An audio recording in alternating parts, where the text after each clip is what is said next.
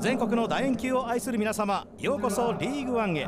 日本最高峰の戦い NTT ジャパンラグビーリーグワン2022-23第2節です。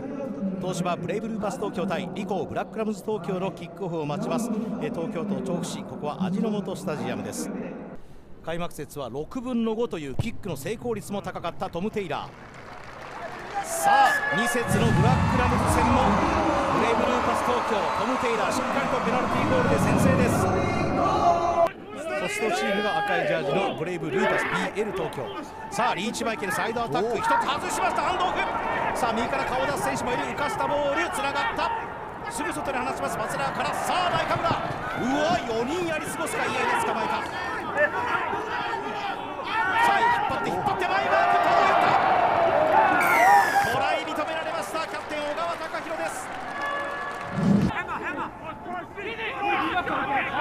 25歳のジェイコブ・ピアス。そうですね、いいですね。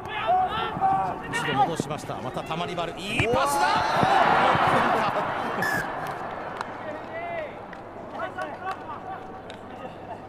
ポンポンと得点を取った後スコアが止まっています。さあラインアウトを作りました。右サイド。また殺しとここにいる。たまりバル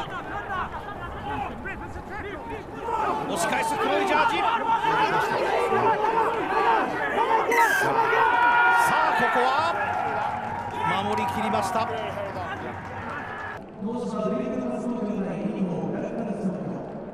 ラインアウトは11分の10橋本長いスローここも競ってきません。さあモール組んだ。回されました。ここにバックスも入ります。さあまっすぐ行きます。まっすぐ行きます。ああそうですね。プロフェッショナルファール Changing up, prevented penalty.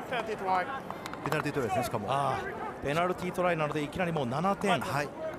8番のナイスネイサン・フューズヒューズが10分間の退場です今横から入ったオフサイドで、はいオフサイドによってトライを防いでしまったという。となると接点でファイトしますリーチよくキープしました。戻す。さあよく見ていました。間に乗っていた。さあ左一人ついていますがマガンがいるが離さないま自分でいく。そのまま持ってきました。さあ64分になるところようやく得点が生まれます。ブラックラムズ東京アイザック・ルーカスのトライです。神奈川 Yalla! 西が持ち込みますオーマイがいたか。孤立した。奪い返しました。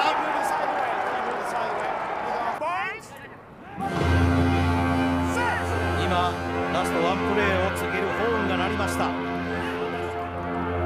こでトム・テイラー大きく蹴り出します。